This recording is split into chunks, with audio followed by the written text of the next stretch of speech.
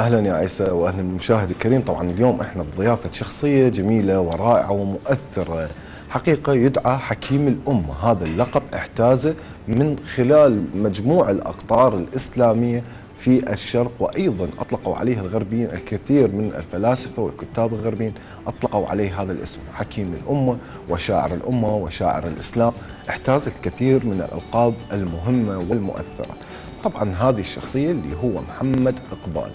هذا الاسم كل شيء هواي وارد علينا تقريبا ما نشوف محاضرة في الدين أو في الفلسفة أو في الاغتراب إلا وينطرح علينا هذا الاسم.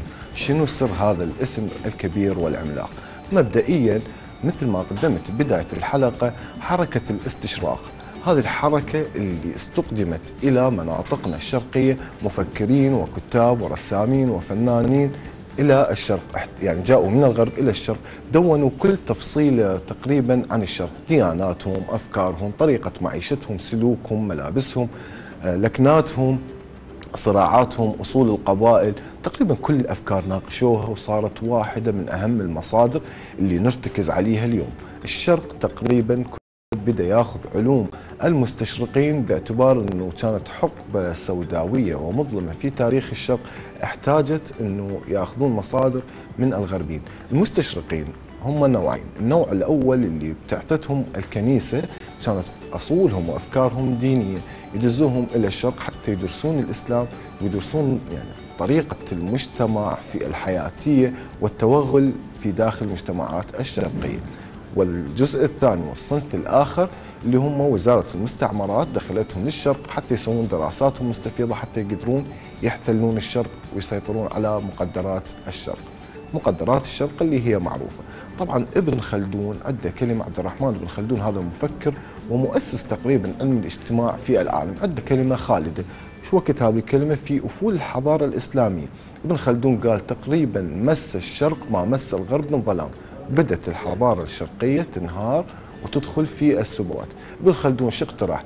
قال لازم تطلع جيل جديد أو يطلع جيل جديد هذا الجيل الجديد يبعث الحياة في الحضارة الشرقية حتى الكوكب كليته يتغير شكله.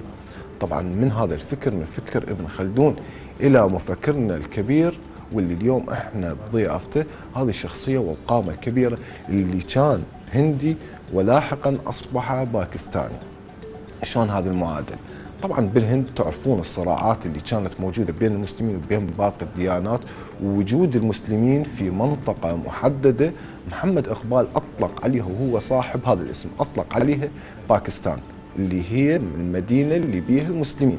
وطالب مبكرا بأنه تكون باكستان دولة خاصة تنفصل عن الهند كون إنه هي تمتلك كل يعني مقومات الدولة. وحتى يعيشون ويحققون المنجزات كان محمد إقبال يخطط ويفكر إلى هذا المشروع من البداية. محمد إقبال طبعا هذا الاسم أول شخصية تقريبا فلسفية وأدبية يطلق على مطار اسمه، يعني المطار الوحيد اللي عليه اسم شاعر وأديب وفيلسوف هو مطار محمد إقبال في باكستان. ارتبط هذه الشخصية تقريبا باسم باكستان. كل المسلمين في كل العالم وحتى الغربيين يعرفون هذه الشخصية إلا بمجتمعاتنا. تقريبا هذا الاسم مغيب. يعني في مناهجنا الدراسية ما يذكر هذا الاسم كثيرا ولا في برامجنا التلفزيونية ولا. محمد أخبار شخصية كلش مؤثرة. راح نحاول نقترب من هذه الشخصية من عدة محاور. كون هي شخصية متشعبة يعني من الجانب السياسي عنده رؤيه وعنده فكر ومن الجانب الأدبي. ترك لنا ما يقارب ل 12 ألف بيت.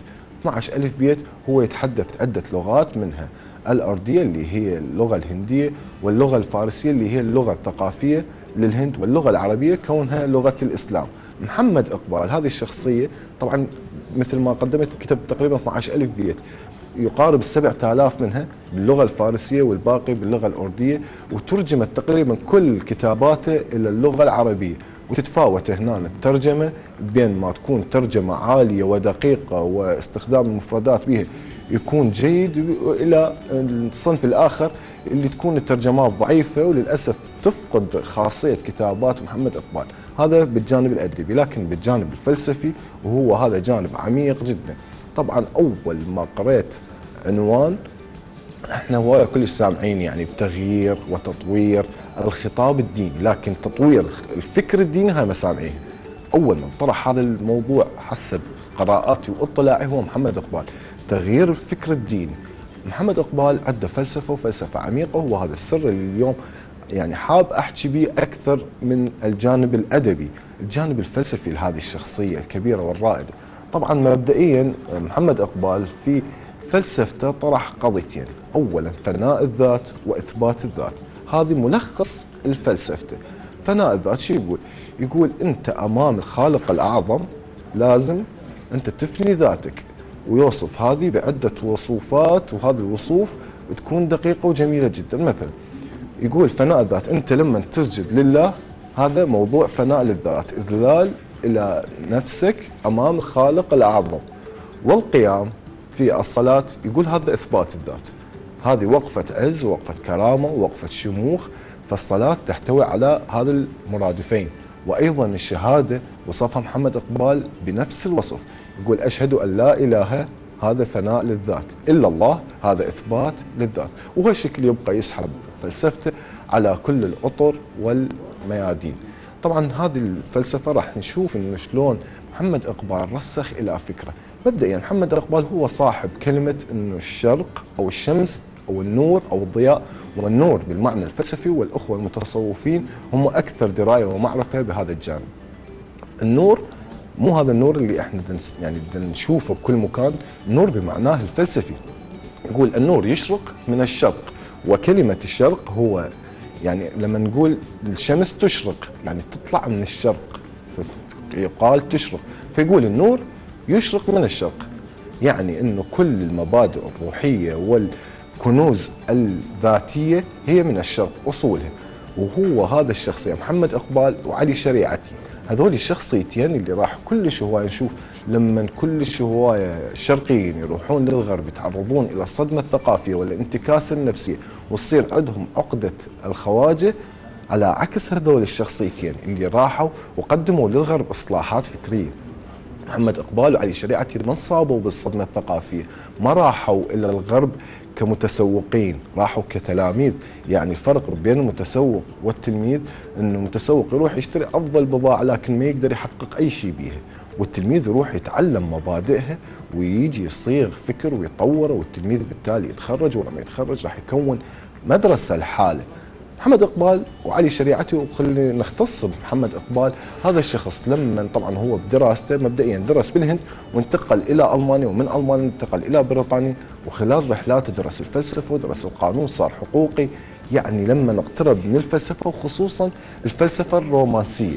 وأصحاب الفلسفة الرومانسية مثل ما هو معلوم يكرمون الذات حتى اختلافه ويا نيتشه.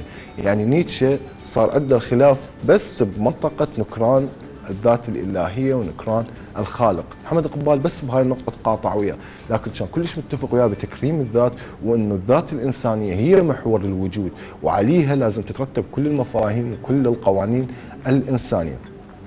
فلسفة محمد إقبال لما يقول إنه الغرب خسارته الوحيدة إنه هو ابتعد عن التوحيد وابتعد عن الفكر الديني. يعني صارت الفلسفة الغربية هي فلسفة بعيدة عن الأخلاق غير أخلاقية. مثل ما نطالع وراح أرجع على فكر نيتشه.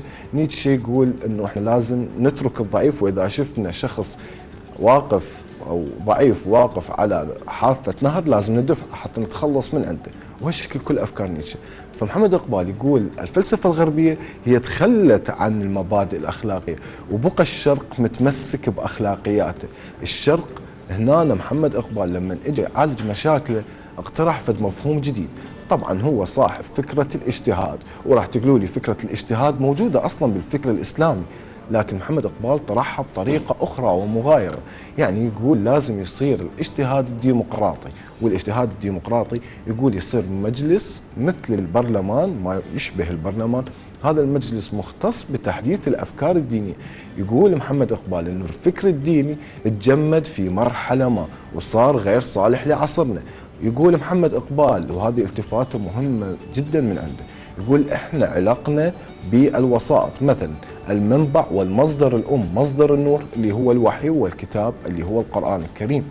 يقول لما صار مترجمين ومترجمين يترجمون عن المترجمين أو مفسرين مفسرين يفسرون عن المفسرين وصارت سلسلة من الحلقات كل حلقة من هذول صار حاجز وعائق أمام اتصالنا المباشر بمصدر الوحي. يقول هذه العقبات لازم كلها نزيلها لأنه هذه العقبات إجت انيا بمرحلة زمنية وبظرف اجتماعي وبظرف سياسي وبظرف اقتصادي، يعني مثلا أحد الصحابة أو بعض خلينا نفترض دائرة من السلف الصالح كانت عايشة بظرف اقتصادي وظرف اجتماعي وظرف تاريخي حتم عليها إن تكون تفاسيرهم ورؤيتهم للدين الإسلامي متوافقة مع زمنهم وبيئتهم، إحنا اليوم بالقرن الواحد وعشرين ولما البشرية بقت تصاعد بمفاهيمها وفكرها اليوم إحنا ما يصير نرتكز ونستند على نفس المفاهيم القديمة، لازم نحدث ونطور. ومن هذا السبب محمد إقبال اقترح ديمقراطية الاجتهاد، اقترح أن تكون لجنة تعيد صياغة الفكر الديني وفق الفلسفات والأفكار الحديثة. هذه الرؤية وهذا التصور خالفوه لمحمد إقبال. كلش هواية واعتبروه هو خرج عن الملة وعن الفكر الإسلامي لكن إضاءاته وإشراقاته في مؤلفاته الفكرية والفلسفية تثبت العكس بدليل إنه محمد إقبال صار واحد من أهم المصادر في هذا الميدان والكثير من علماء المحدثين والمجددين في الفكر الإسلامي وأيضا المصلحين الاجتماعيين ارتكزوا على أفكار محمد إقبال فضلا عن الجانب الشعري والأدبي اللي تقريبا كل أفكاره وهنا هم راح نشوف تأثير الفلسفة الألمانية بكتابات على اعتبار إنه الكثير من اساتذه محمد إقبال اعتمدوا على الشعر والأدب لنقل فلسفاتهم من خلال القصائد، طرح تقريبا كل رؤيته من خلال قصائده وواحده من أجمل قصائده اللي غنتها أم كلثوم، طبعا ترجمت إلى اللغة العربية تقريبا كل كتاباته ومؤلفاته وأتمنى من المتلقي الكريم يتابع هذه الشخصية وأنا متأكد راح تضيف له الكثير في حياته يا عيسى. اللي دافعت عن الإسلام. واللي ظل متحفظ عن الإسلام وظل بقى أنه يكتب فقط عن الإسلام ودفاع عنه بالغرب، تعرف أفكار الغرب وغيرها، يعني وأكو مقولة يعني عنده باللي هو نزار قرطبة ودخل الجامع وللأسف الشديد أنه لقى بالجامع لقى ماكو مصلين، لقى أنه داخل الجامع يبيعون الخمر وهناك الزنا والفواحش موجودة، فهو قاعد اخذ له زاوية فبكى. فمن بكى قبل استهلم أنه رجال شعر. فهسه قصيدة؟ أنه راح أضيفها وهي الكلام اللي أنت حضرتك قلته. فأنا هسه راح استعين بتليفوني للمحافظها يقول أرى التذكير أدركه خمولي ولم تبقى العزائم في اشتعالي وأصبح وعظكم من غير نور ولا سحر يطل من المقال وعند الناس فلسفة وفكر. ولكن أين تلقين الغزال؟ الله. وجلجلة الإذن بكل حي.